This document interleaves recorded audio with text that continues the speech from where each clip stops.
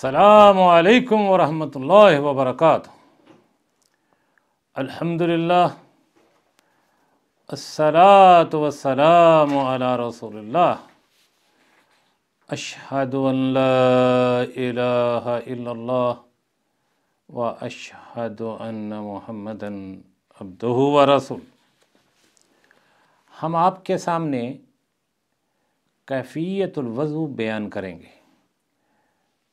کہ وضو کو سنت کے مطابق کس طرح کرنا چاہیے۔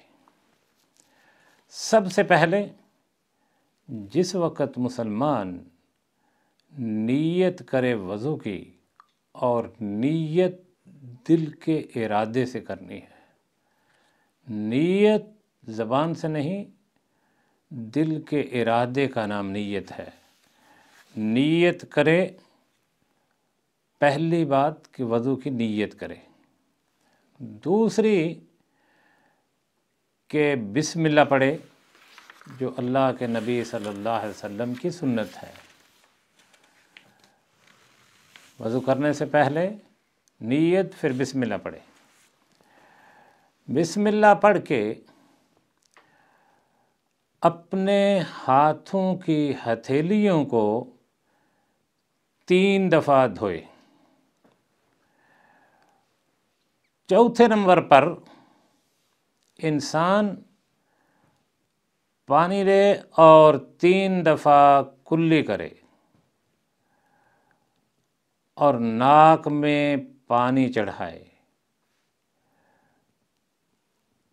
تین دفعہ پانی چڑھانا ہے۔ اس کے بعد انسان تین دفعہ اپنے چہرے کو دھوئے۔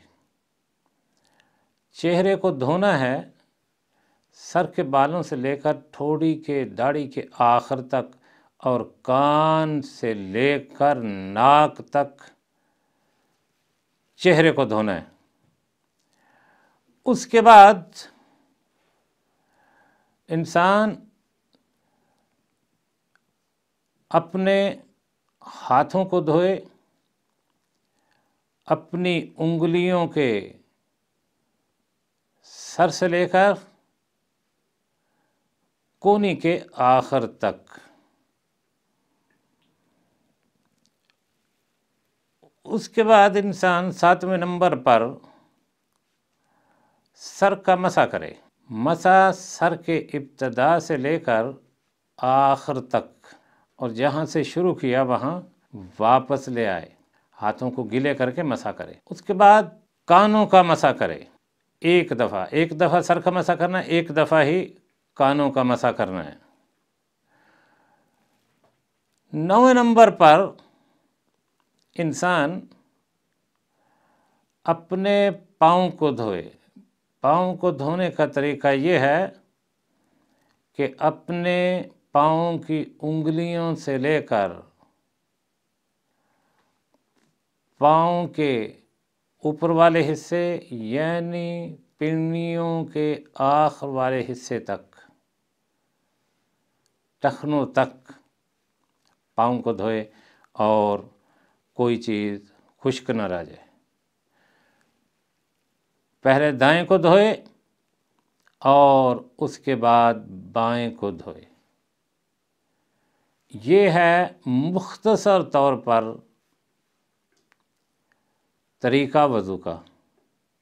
وضو ہے تو نماز ہے، وضو صحیح نہیں ہوگا تو نماز بھی صحیح نہیں ہوگی۔ دعا ہے اللہ رب العزت ہمیں سنت کے مطابق وضو کرنے کی توفیق عطا فرمائے۔ وہ صلی اللہ علیہ نبی